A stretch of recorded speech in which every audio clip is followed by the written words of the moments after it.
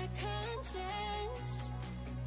Traveling for days without my knowledge of private